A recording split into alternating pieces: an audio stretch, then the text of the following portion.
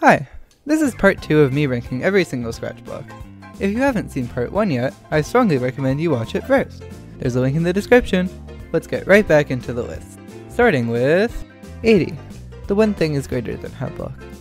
This block doesn't seem too useful at first, since at face value all it does is start when the timer or loudness is greater than a certain number.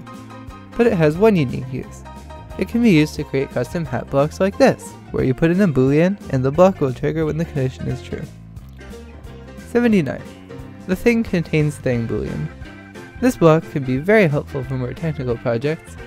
For example, you can use it instead of nested if loops when a variable can be one of several values. 78. Username. While it only has one specific use, this block is used all the time so I'm putting it fairly high on the list. 77. Point towards. It's not as helpful as the point in direction block, but I have it in a lot of projects for things like pointing towards the mouse. 76 and 75. The ask and answer blocks. This is the only way to get text input in Scratch, and it works very well. It looks nice and it's super easy to use.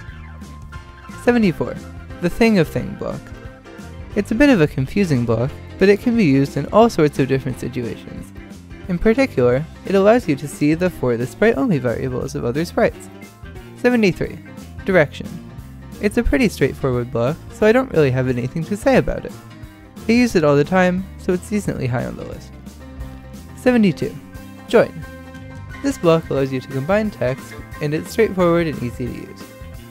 71. Costume name slash number. I use this block a lot when working with clones. On top of that, it can be useful in animations. 70 through 68. The graphics effects blocks. I use the ghost and brightness effects in nearly every one of my projects.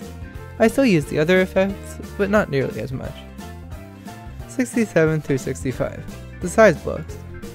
These blocks are needed to change the size of a sprite, and I think they're used in most projects. 64.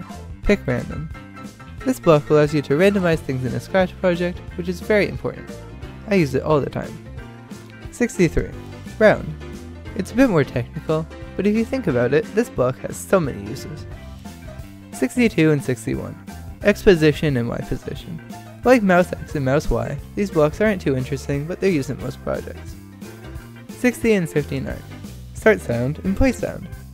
The start sound block is great for sound effects, while the play sound block works perfectly for things like background music.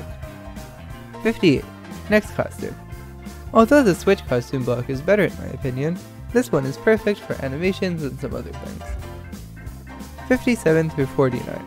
The list blocks. Lists are incredibly useful, especially in more advanced projects. They allow you to make leaderboards, store data, and so much more. And the blocks involved are all helpful and easy to understand. 48. Point and direction. Although this block basically has the same purpose as the turn block, I think the point in direction block is easier to use. 47. Repeat until. This is the least useful loop, but I still use it in a lot of projects. 46. Wait until. The wait until block is great in countless situations, and it makes a lot of sense. 45. Repeat. This loop is easier to use than the repeat until loop, so because of that, I'm putting it higher. 44. Switch costume to. This block is a bit like the next costume block, but better. It gives you a lot more options than the next costume block, 43 through 41. The broadcast blocks. Broadcasts are used more in smaller projects, but I use them in big projects as well. They allow you to code lots of things in simpler ways, which is great. 40 through 32. The pen blocks. The pen extension is unique because Scratch is based on sprites, but the pen extension allows you to draw things on the screen instead. It makes lots of new projects possible, including 3D games and it's also executed very well because each of the pen blocks is easy to understand and use. 31 through 28. Set x and y and change x and y. These blocks are way better than the move block most of the time because they allow you to move a sprite along the x and y axes, which is so much easier to work with. 27 and 26. Hide and show. These blocks are self-explanatory. They let you change the visibility of a sprite, which comes up all the time. 25 through 23 greater than, less than, and equal. I use these to compare numbers in the majority of my projects. 22 through 20, and, or, and not. These are perfect for making scripts smaller and easier to read. 19 through 17. The clone blocks. I use some amount of clones in nearly all of my projects. They let you do lots of things that would be incredibly challenging without them, and although there are only 3 blocks, they all work great. 16. Go to XY. You'll need this block at least once in most projects, even if it's just moving a sprite to 0, 0 at the beginning. 15 through 12. The arithmetic blocks. These are very simple, but they're needed basically everywhere.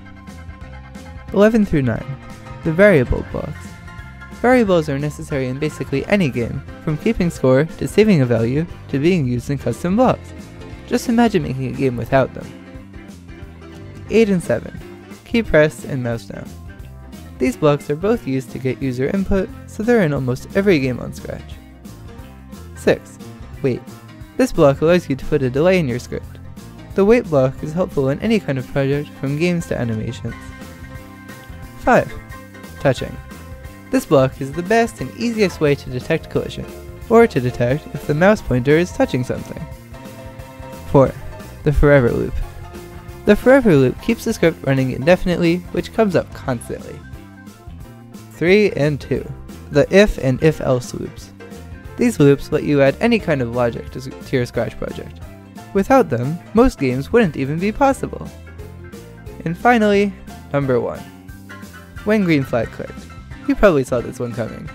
The when green flag clicked block is at the start of every project, and everyone has used it and recognizes it, so I had to put it at number 1. That's the end of my list. Tell me in the comments what your favorite block is. This video took me forever to make, so I'd really appreciate it if you'd like and subscribe for more Scratch videos like this. Thanks for watching, and I'll see you in the next video.